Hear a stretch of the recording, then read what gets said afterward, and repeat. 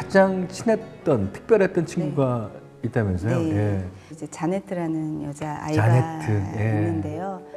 어, 그 아이는 혼자 살고 있었고 또 소아마비로 이제 땅을 기어 다녔어요. 이렇게 바닥을 끌면서. 그래서 이제 용화가 굉장히 마음이 쓰였는지 그 짧은 일정 동안에 두 번을 보기는 힘든데 같은 음, 아이를 네네. 어, 찾아가서 휠체어를 마련해주고 그다음에 다시 또 만나자는 약속을 하고 음, 이제 용화는 다시는 이제 못 보게 됐죠. 그래서 좀 안타까운데 2015년에 제가 자네트를 만났는데 그 아이가 이제 지원도 받고 음. 보살핌을 받아서 그런지 굉장히 이제 일단 표정이 밝아졌고요. 밝고, 예. 뭐 씩씩하게 학교를 다니고 있더라고요. 그래서 참 기분이 좋았죠. 예. 자네트의 최근 소식이 세가여에도 전해졌는데요. 와, 얘가 자네트예요? 선천성 소아마비로 땅을 짚고 다녔던 자네트. 이제는 와, 잘 걷네요. 꾸준히 치료를 받은 덕분이라는데요.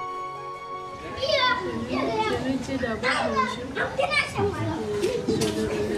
opportunité qu'il a fait envers moi.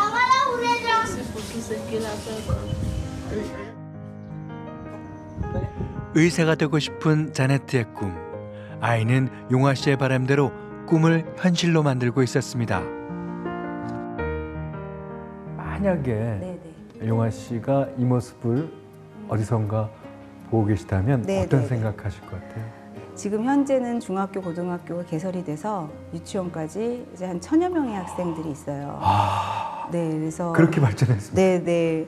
많이 발전을 했고 야. 그다음에 학교를 중심으로 마을 분들도 농사도 지으시고 농사도 짓고. 예. 네, 경제적으로도 이제 활동을 하시기 때문에 용화가 만들고 싶었던 그런 마을 보건소나 뭐 학교 사람들이 모일 수 있는 곳을 만들고 싶어 했는데 어느 정도 그림이 좀 그려진 것 같아서 음. 용화가 만약에 그 모습을 봤다면 어, 당연히 기뻐하고 엄청 네. 뿌듯해했겠죠. 예.